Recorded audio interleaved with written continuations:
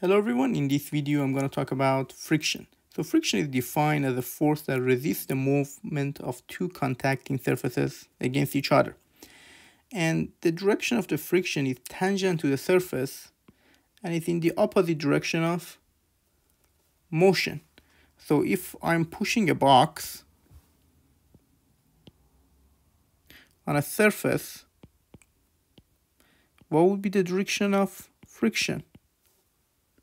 If I draw the free body diagram, because the box tends to move to the right, the friction force is resisting that. So it would be to the left. And of course I have normal force and also the weight of the box. Or let's say we have a ladder that is leaning against the wall and it's sitting on the ground. If there would be a person with a weight W, we'll see that the ladder tends to slide downward. So the friction force here, I'll call it F A, if we call this point A and this point B, would be the opposite direction. Or here, the ladder wants to move to the left, so the friction force would be the opposite direction. And of course, you have normal forces, NA and NB. But what would be the magnitude of friction force? So if you say that the magnitude is mu n or mu sn, you're almost right, but not quite. That's the maximum value the friction can have. So the maximum value of friction force would be mu sn. And then we get that maximum value when our object is about to move. So in general, friction force is equal or less than mu n. And we can replace it by mu n if we have impending motion.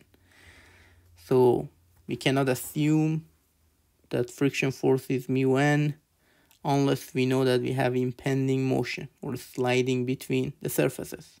So for example, here, I cannot assume that force B would be equals mu NB because I don't know whether there would be actual motion or it would be we are close to impending motion. But if I know, then I can replace it. Then technically, then I won't have two unknowns. Then I will only have one unknown because I have a relation between the two forces. Now let's uh, review different types of friction problem that we can have. So the first type is that if we have no impending motion, so assume this structure, if we draw the free body diagram for each case, at A, I have the normal force,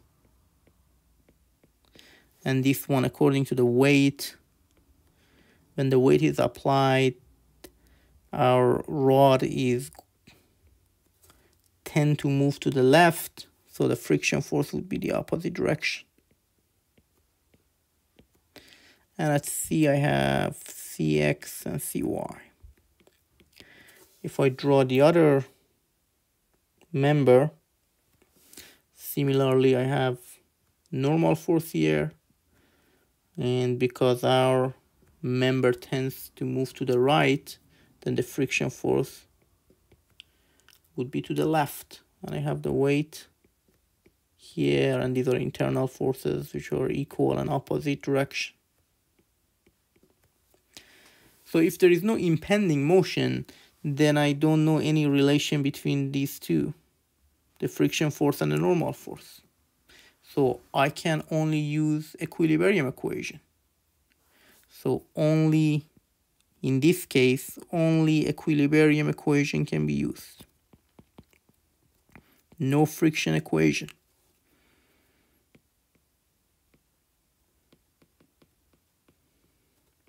And if you look at the problem, we have six unknowns and we have two free body diagrams. So we, we can solve for uh, for six unknowns. But if, let's say W is also unknown, then we really can't solve it because we can't use friction equation because there is no impending motion. And all we know is that the friction force is less than mu n. And that's not going to help us. The second type is sliding is impending and the sliding surface is known. Again, we are looking at the same problem, but this time the problem it says that we have sliding at A. So if I draw the free body diagram again here, I have Cx and Cy, I have W, NA, but here for FA, because I know it's going to slide at A, I know FA would be equal to mu NA. So I can replace it with my friction equation. And for B, if I know that the B is not moving,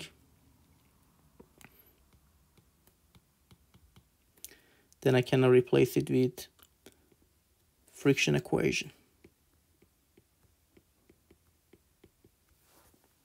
So here I get additional equation. I relate the two unknowns because I know there would be impending motion.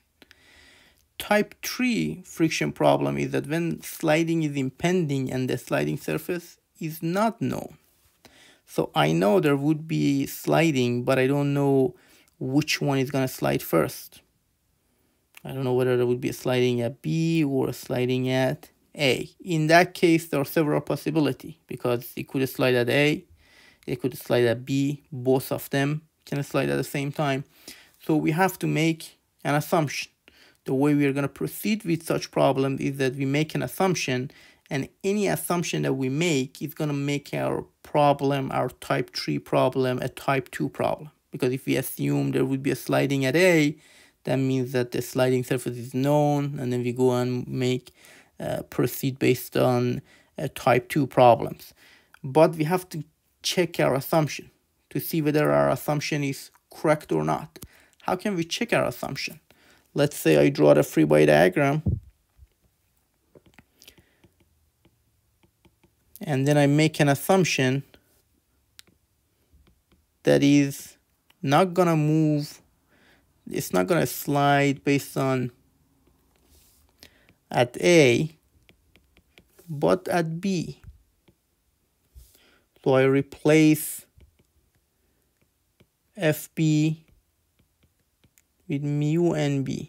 That would be more my assumption.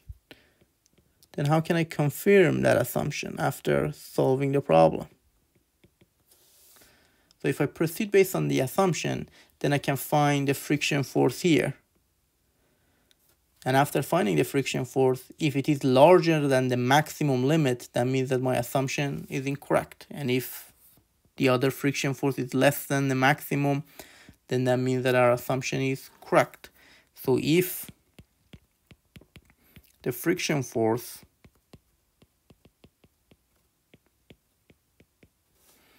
is larger than the maximum limit, what is the maximum limit?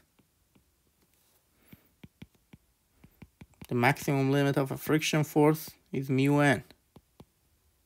That's the max that we can have. If we get a higher than value than that, that means that our assumption is, is incorrect. And if we get a value less than that, that means that the assumption is correct. So whenever you make an assumption for type 3 problems, you need to confirm that assumption. So we have three problems, three type of friction problems. The first one, uh, there is no impending motion. So it's basically an equilibrium problem. We can't use any information about our friction force. The second problem, we know the surface that we have impending motion so we could use our friction equation. Type 3, we know there would be a sliding, but we don't know which surface. And that one we have to make an assumption and then confirm our assumption. So we have three types of friction problem. Before you start solving the problem, you need to identify which type uh, you are dealing with.